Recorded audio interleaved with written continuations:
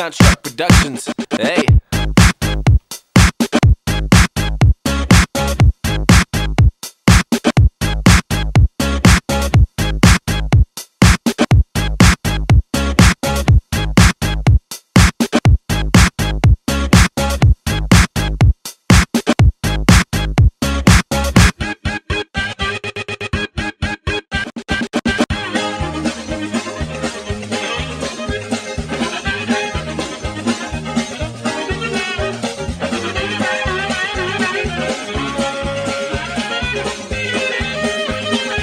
This is my favorite part, right here.